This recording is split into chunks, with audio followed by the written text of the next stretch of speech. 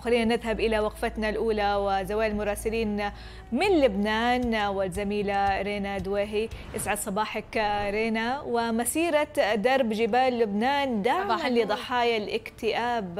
ما هي التفاصيل؟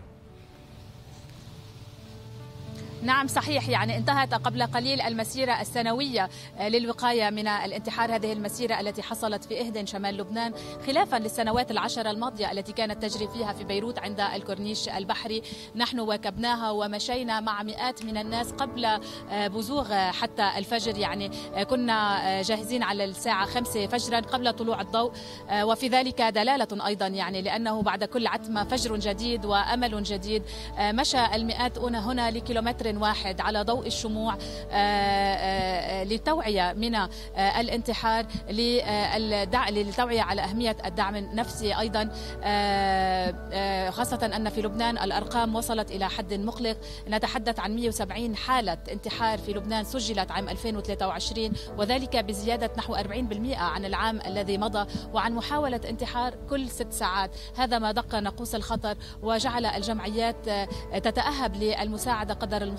خاصة وأن الطب النفسي يعني يحاول أن يأخذ الانتحار في كل يعالجها في كل حالة على حدة إلا أنه أجمع أن السبب الأكبر وخاصة بعد الإحصاءات التي حصلت في لبنان تعود إلى الأزمة المعيشية والاقتصادية وخاصة عند الشباب الذي يجعلهم يعني غير راضون عن أنفسهم وغير قادرين على تحقيق ذاتهم. إضافة إلى اضطرابات نفسية أخرى قد تسجل.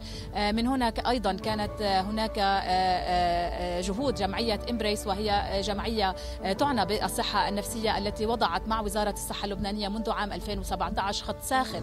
هو بمثابة خط الحياة يتناوب عليه متطوعون على مدى الساعات وعلى مدى أيام الأسبوع للرد على اتصالات الناس. ويسجلون حوالي ألف اتصال شهري يعني ألف اتصال لأشخاص يشكون من أفكار انتحارية من اضطرابات من من بعد الاكتئاب ويحاولون يعني معالجتهم هم الذين يعني تدربوا على الإصغاء على محاولة التدخل وعلى وصلهم بالجهات المعنية التي تحاول دعمهم بصورة أكبر. بالفعل يعني مسيرة لتسليط الضوء على هذا الجانب المظلم صراحة والضحايا.